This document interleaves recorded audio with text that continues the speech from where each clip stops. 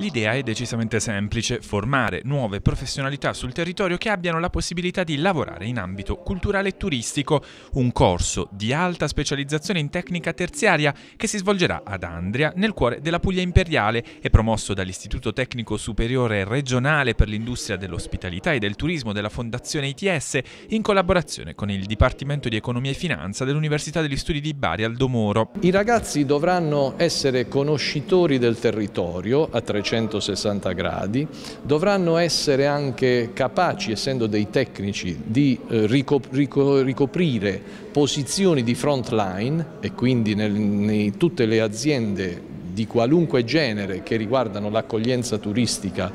eh, dovranno eh, dire, avere le competenze, le conoscenze idonee a interfacciare un turismo che è un turismo d'elite, un turismo di qualità, anche perché la strategia del nostro territorio è quella di puntare su un turismo culturale e il turismo culturale richiede sempre una qualità dell'interlocuzione. Ieri il primo incontro ad Andrea all'interno della sala consigliare di Palazzo di Città, nel quale, oltre alla presentazione dell'idea alla base del corso, è stato tracciato un primo bilancio di confronto tra i diversi interlocutori chiave del settore turistico del territorio, sia pubblici che privati. Questa è una fase adesso di brainstorming con le imprese e gli stakeholders del territorio più in generale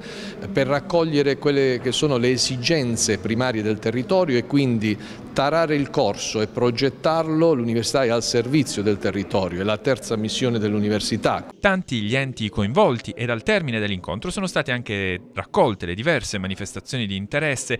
e sed organizzazioni interessate a collaborare con la Fondazione ITS Turismo, territorio che cerca vie nuove per incrementare possibilità ed opportunità attraverso le proprie peculiarità. Turismo e cultura sono alla base di un percorso virtuoso che deve necessariamente partire dalla formazione di nuove professionalità per essere un vero volano di sviluppo assieme all'azione amministrativa. La formazione rappresenta un obiettivo a cui bisogna inevitabilmente lavorare per cercare di creare le condizioni per avere persone che siano formate formate, poter attirare e attrarre investimenti e quindi anche mettere in moto uno sviluppo da un punto di vista turistico-culturale. È evidente però che non ci si può approcciare con l'approssimazione dell'improvvisazione, ma bisogna approcciarsi con la formazione attraverso una formazione costante che deve essere fatta da coloro che per non solo professionalità ma anche per esperienza consolidata hanno queste qualità.